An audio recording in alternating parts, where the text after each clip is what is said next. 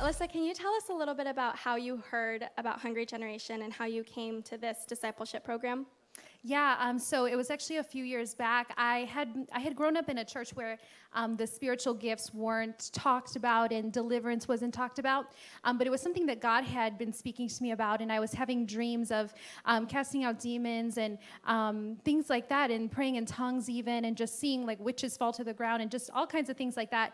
Um, so I was praying for the gift of tongues. I was praying to be baptized in the Holy Spirit, and I came across a Hungry Gen video that somebody had shared on Facebook, and and it was a video of deliverance and i was like this is awesome. This is awesome that this church um, operates in this way and they move so powerfully in the gifts of the spirit. So i just knew in my spirit that i needed to be here. And so um, just watching the videos i one day was driving in my car and they were worshiping and um, pastor ilya was praying and i ended up um, getting baptized in the holy spirit and um, praying in tongues. Yeah let's put our hands together for that this is just a part of it, but it just reminds me that there's no barrier. God knows no barriers. And even on live stream, if you're watching, you can be touched by the power of God. Amen. So, will you continue? How did you hear about discipleship and how did you get here? Um, so yeah, I was just watching the videos and I found out that they had an internship program.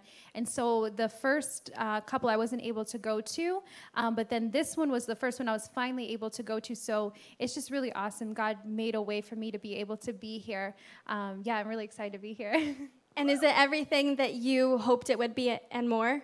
Yeah, it is. I really didn't know exactly what to expect. I was like, I just want to get away for a few months, just just spend these three months, um, just totally focused on God and just um, do like a lot of street evangelizing and things. So it's been really awesome. We got to do some evangelizing this weekend, and then tonight we're going to do some as well. Um, and God's just been bringing me, bringing some things to the surface that I had kind of swept under the rug, um, different just hurts from the past, and um, He's really just been bringing me a lot of inner healing. So I'm just really thankful for that. Hi there. This is is Lana. Thank you so much for watching this testimony. I bet you were blessed. If you would like to see more of these testimonies, please subscribe and thank you again for watching.